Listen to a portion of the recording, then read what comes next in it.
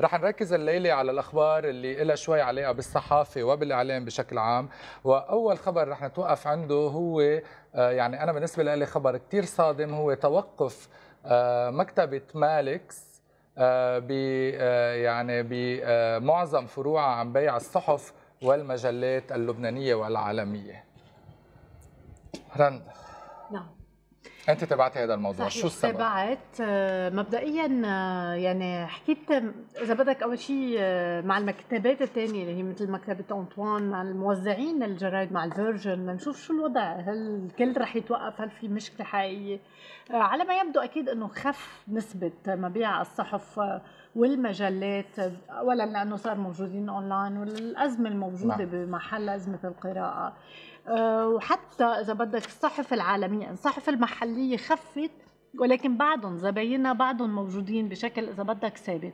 بينما الصحف العالمية والمجلات العالمية آه، خف آه، أكثر استيرادها هي مع مين حكيت هون ليفانت بعتقد هن المصدر الأساسي. شو عم بيقولوا؟ نزل؟ عم بيقولوا إنه نزل من 2011 ل 2015 كان بشكل يعني كثير كبير ولكن من 2015 ل 2017 يعني لليوم ثابت ثابت بس توقفوا عن استيراد مجلات معينة آه، مثلا؟ لا لا ضلوا على ذات كل المجلات بعدهم بيستوردوها مالكس شو موقفهم؟ شو عم بيقولوا؟ آه مالكس آه هلا بوجهة نظرهم إنه ما بقى في هالقد كمان نعم. بيع لهيدي المجلات ولكن في هون كمان اللي حسب ما قال لي مدير التوزيع بليفونت إنه مالكس في عندهم franchise والفروع الأساسية بعدهم محافظين نعم. على بيع نعم. الصحف هي اللي صار بمالكس إنه لأنه نزل كثير مبيع الصحف والمجلات توقفوا لأنه قالوا بهالمساحة اللي عم بخصصوها ستاندات الجرايد والمجلات فيهم يحطوا غير شيء آه، تركوا الجرايد والمجلات بالفروع اللي عندهم مساحة كبيرة ومش مضطرين على المساحات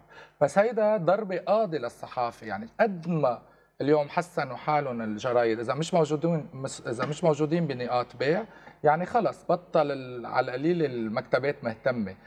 وفي مجلات عم توقف من دون ما نحس. الجرس مثلا مجلة الجرس. الجرس وقفت؟ الجرس وقفت. إمتى شو بقى من شيء بعدها أونلاين كان ما بعرف بس الورقية وقفت. صار لها شي سنة. آه. يعني في آه. في في صحافة عم توقف يعني عم نسمع عنها وصحافه يعني هالقد الوضع سيء إنه حتى ما عم نعرف. لا. انه انه وقفت مع إنها فنية يعني معروف يعني إذا بدك بالمجلات الفنية من أكثر المجلات اللي قوية. خبر ثاني أرليت. كمان خبر إعلامي مثل ما قلت زمان هي خبر قضائي بيتعلق بإذاعة صوت لبنان.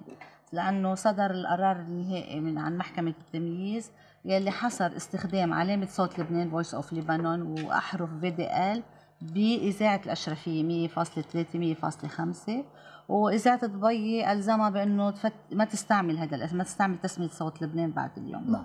هي يعني هالثلاث سنين اللي مرقوا اثنين صوت لبنان شغلة يعني كانت سنين من 2010 هالقد سبع سنين يعني كانت وحدة.